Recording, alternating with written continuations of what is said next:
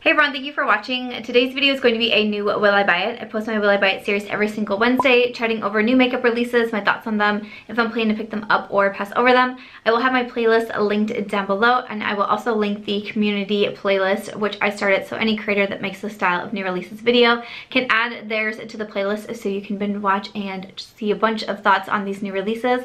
But I do have a lot to chat about this week, so why don't we go ahead and get started. All right, I'm gonna shuffle a little closer to Perry here, and then let's just jump right into it. So of course we have some new ColourPop to talk about, why not? So they are coming out with some new products. These are the blush and highlight sticks.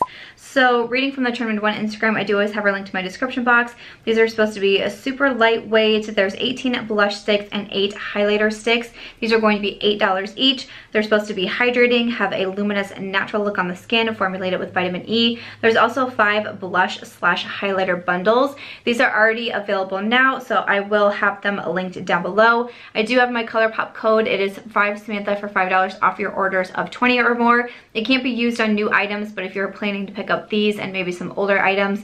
If those older items equal the $20, you could still use the $5 code. I believe is how that works. Uh, so, but for these new items, I'm not really interested in these myself. I'm not a big cream makeup gal. I'm, I'm kind of slowly working my way back into it. I used to be really into it. Maybe like two years ago, I used a lot of cream products. Then I kind of phased out of that and now it's kind of like slowly coming back around on me, but not too, too much yet. I think that these are, these would be nice at the $8 mark if you are wanting to get into cream products, but you're kind of wanting to learn first because it can be a, little tricky, it really can. So if you're wanting to learn on them, it would be nice to purchase something more affordable versus something more high-end uh, and, you know, realize that maybe you don't like cream or you just need to play around with it a little bit more could be a good option so um, I think that I have enough especially highlighters. I'm really not a cream blush girl or a liquid blush girl. Like I can do cream bronzers, contours, and highlights, but for whatever reason, blush I'm just not a big fan of at all. I don't really see myself using those. The highlighters do look pretty, but again, I just, I don't think I'm personally gonna get enough use out of these. I, I love the price on them. I think that that's great and everything. The packaging is very cute, very eye-catching, you know, very cool for summer, but I did just also place a ColourPop order. Last Friday's video was a ColourPop haul uh, and also three looks with the new main squeeze palette. And it was crazy because by the time I got that video up, which I got my package the day before that video went up and immediately filmed with it. And even before that video went up, another new palette had released, the Blue Moon palette. It's like, my goodness, ColourPop, like, goodness. Uh, but this is a release that I'm going to pass over. Did get quite a few tags that Pixi Beauty is doing another Pixi Pretties collaboration. They've done this in the past. They are doing it once again and they're collaborating with quite a few um, different influencers here. So we have Miriam NYC who I know that she did a collab um, one of the last times. Uh, From Head to Toe is collaborating. Rachel Loves is collaborating and also That's Heart which I can't remember if she has in the past. But um, so there's a bunch of new products out here from Pixi. So we have the That Heart, That's Heart has an eyeshadow palette. Rachel Loves has a highlighter palette. Uh, I believe these are going to be available June 11th is what I read. Yeah, June 11th online. They'll also be available in Target at the end of June. Uh, and then Miriam NYC has two different sets that are $18. They include liquid fairy lights and also a matte last liquid lip. And then from head to toe has glow powders and an endless shade stick. So that's kind of the idea, um, what's all included with these collaborations. I don't know if I'm going to pick up anything from this. I don't regularly follow anyone in this um, particular collaboration. I used to watch Rachel Loves on a really consistent basis and I don't know what made me kind of stop. No, like no reason or no anger or no anything like that. Um, I don't know, I just kind of like slowly kind of stopped watching her videos, but I did, I really, really enjoyed her videos. She has great enthusiasm. Um, so I'm really excited to see, you know, of course I just, I always get really excited when I see people being able to collaborate. And I know the last Pixi Pretties collection I felt like was really well done. There's a lot of products in there that I quite enjoyed. The highlights I thought were really good. I will say though that Pixi makeup generally doesn't get me as excited as their skincare. For whatever reason, when it comes to Pixi, I am just all about their skincare and that's typically where I tend to make my purchases and my repurchases versus their makeup. I still think that their makeup is good, but Pixi is kind of that um, like a lot of people consider them a drugstore brand, but their their prices are a little bit more like mid-level, like they're not high-end, but they're not drugstore affordable all of the time. And I just feel like with that brand, I would prefer to put my money in their skincare versus their makeup, if that makes sense. So that's kind of a little bit of my thoughts on that, but I'd love to know what you guys are thinking. Um, who do you follow out of this bunch that you're so excited to see for the collaboration? I would love to know if you are grabbing anything. Also got some tags that Kaja Beauty is coming out with new eyeshadow trios. So they already have some out, but they're adding some new ones. And these are going to have a new matte formula finish. So these are their Bouncy Shimmer Eyeshadow Trios. It says a stacked creamy bouncy eyeshadow in bite sizes, perfect for on the go. Stacks of matte and shimmer eyeshadows that apply effortlessly. It's $21 for each trio. I believe that these are available now and they'll be available June 7th in stores and Kaja is also available at Sephora. So I haven't tried these yet. I actually haven't tried anything from Kaja yet, but I really, really want to. And these I think have me the most curious. And it was funny, with the last time I shopped in store at Sephora, um, some of these were put on display so you could, you know, like swatch them and stuff. And I went over to them and I, I, I looked at them because I was like, oh, I'll swatch a few and see what I think. Almost every single shade and every single trio that had been out was completely done for, like all the way swatched through. I couldn't even swatch them. So I was like, huh and i feel like i've heard a lot of other youtubers talking about these and using them and just really enjoying them so i kind of want to pick one up just to see what i think you know it's 21 dollars for one product but you get the three shades inside so i don't think that's too bad and these just look really curious to me. So I'd love to hear your feedback. Have you tried them yet? What do you think about them? Um, but it looks like we have some new colors, some new formulas in there, and I have to say that I have my eyes on these. And they look like they would just be great for like I do so like we're gone so much in the summer. It seems like we're always doing something every weekend. Really nice to be able to just throw these in a makeup bag and go like I'm kind of eyeing these. Okay, so IT Cosmetics is coming out with a new product. This is the Your Skin But Better Makeup Primer. It's an oil-free makeup gripping primer. Those are very popular right now. That hydrates your skin and extends the wear of your makeup. This is going to be $39 and I believe it's available now at Sephora.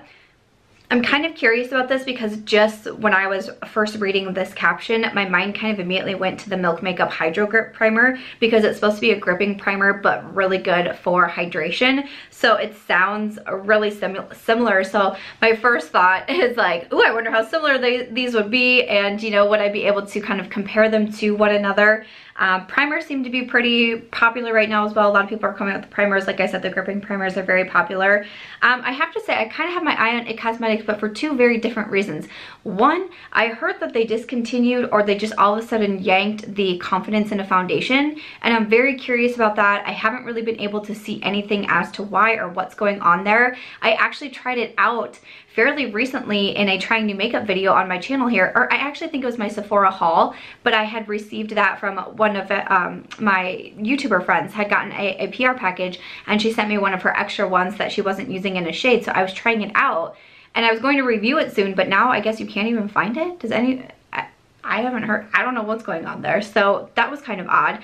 But another reason that Cosmetics kind of has my attention right now is I just recently listened to a podcast and it was from Rachel Hollis, the Rise, Rise podcast, and it had the CEO of IT Cosmetics on there, Jamie Kern Lima, and it was just really interesting. I've, I've been really into podcasts. Um, you know, with the warmer weather, I walk my dog a ton. We're always out there, and I like to be able to listen to podcasts or audiobooks. And right now, I just feel like I'm finding a lot of really good podcasts, and the Rise podcast is one of them. If you're not familiar with Rachel Hollis, she wrote the book um, Girl Wash Your Face, Girl Stop Apologizing, and those have been really popular books books, but she also has this podcast. And I've been listening to quite a few. There's some really interesting people that she has on there, some really interesting topics, motivational, inspiring, which is something that I really do enjoy. But when she had Jamie on, it was such an interesting podcast just not only hearing about it cosmetics which obviously because of what i do i was super interested in that and hearing how the brand came about and kind of hearing how they got their big break um, actually through qvc and kind of what went on and all of the no's that she got from sephora and other brands. And um, so that was that was really intriguing to me. It cosmetics has never been a brand that's really caught my attention. Like i've tried a few things here and there but just I don't, for whatever reason, they just don't get me excited all of the time. But I have to say, after listening to this podcast, I was really quite intrigued. Um, I did some more research into the brand. I looked at some of their, their products a little bit more closely. Um, and I will see, I can try to link it. I'm not really sure how to link podcasts these days because I'm kind of newer into them. But um, if you like podcasts and that sounds like something interesting to you, I'd really recommend it. And it was also very interesting for, um, as, as, a woman listening to it, there was a, a particular part where um, they were they were talking about women, kind of how we view our bodies that actually had me full on crying as I was walking my dog because I could relate to so much of what was going on and, you know, how hard we can be on ourselves and all of that it was just so interesting and so moving. So definitely recommend the podcast. I just thought I would sneak that in there. I put I posted about it on Twitter and on Instagram and just anywhere I could because I was just so moved by it. But um, I just thought it was very interesting. So and I have to say that it kind of got me looking at It Cosmetics a little bit more too. So I'm kind of interested in the primer. It is $39, so that is very expensive. And like I said, a lot of new primers have come out. I've bought some. I have received some in PR. I have a lot of primers going on. So I'm kind of like trying to decide if it's a good decision or not. I don't know but I'm intrigued. I didn't mind that little story, but it was just something that I really did want to recommend, and I'll definitely be thinking on this primer, but let me know your thoughts on it. Okay, so next up we have an eyeshadow palette from Melt Cosmetics. I know that there was some issues with this one. I think the, um,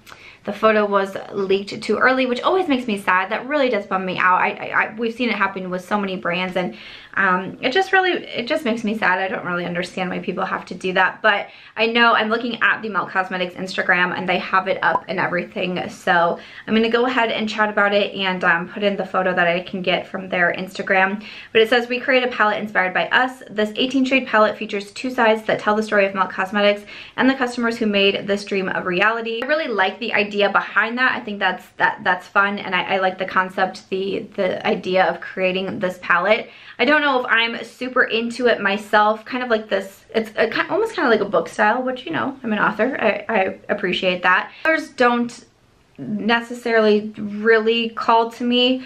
Um, and also the palette is going to be $65. It's going to be available June 6th online at Sephora and Melt Cosmetics that's pretty pricey. One of the one of the biggest reasons why I haven't purchased from Melt Cosmetics is, is they're just a little bit more of a higher price. I do like that they're now at Sephora. I think that's awesome, but um, the palette just didn't, it, the colors inside of it didn't really give me a double take. I like the packaging. Again, I like the concept behind it, but the actual shades inside, I was just kind of like, eh, and, you know, like I feel like I kind of have that as of right now, and especially for the $65, I think I'm gonna go, I think I'm going to go ahead and pass over this one from Melt. So we also have a new eyeshadow palette from NYX Cosmetics in collaboration with Age of Aquaria.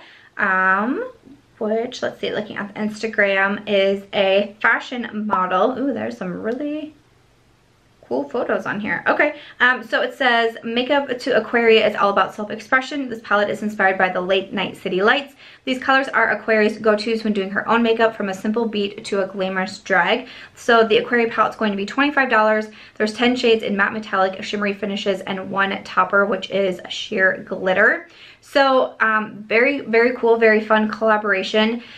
I don't think the shades inside really speak to me though. I I like the looks of it. I like the outer packaging. And I think there's a few shades, like um, individual shades in here that I'm like, oh, okay, those are kind of neat, but kind of putting them all together, I just don't think I would see myself reaching for this one quite a bit. And NYX eyeshadows don't generally get me very excited. I actually just mentioned one of their eyeshadow palettes in my like 20 worst um, products from 20 brands in 20 minutes or so there.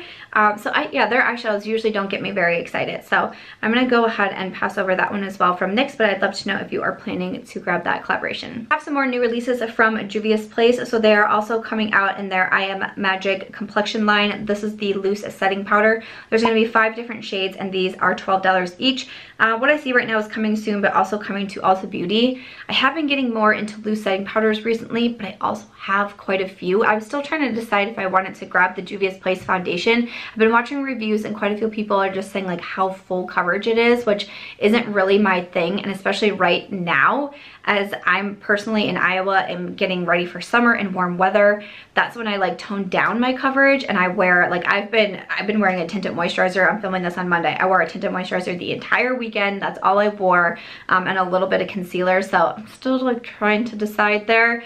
Um, but I, I, think that these look really cool. I, I, like the packaging on these. I like the idea of the setting powder. I don't think the price is bad either, but I don't think I need it right now. So probably gonna pass on those from Juvia's Place. Also some more new eyeshadow palettes from Violet Voss. So we have the Best Life eyeshadow palette. This is to be $49. It says 14 shades with different finishes and 7 big pans of finely milled pressed glitters. We also have the Rainbow Fun Sized Mini Palette, which is 18. That has 10 shades. Uh, I can't say either of these are really calling out to me.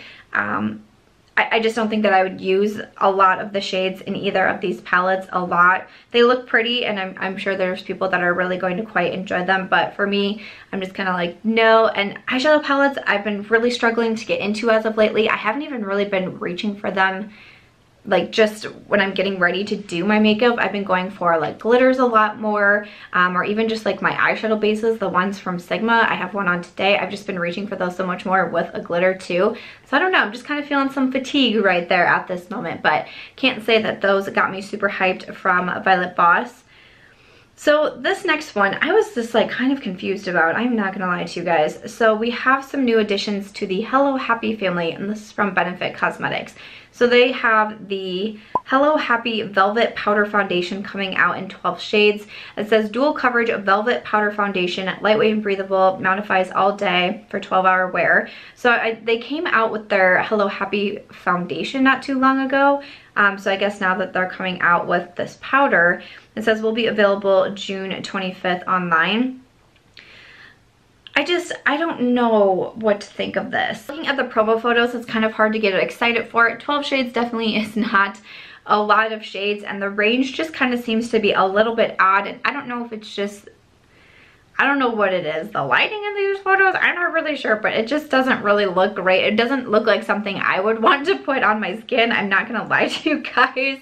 So I, I don't know. I don't really know what else to say more than that. I haven't been a big, big fan of a lot of Benefits, more like complexion products. I love their brow products really do enjoy those but there's been a lot of other misses from benefits so i mostly just stick with them for my brow products but i don't know this just kind of looked a little bit odd to me no, not really so sure about that. So um, I'm, I'm going to go ahead and pass over that. I'm not a big powder foundation girl anyways.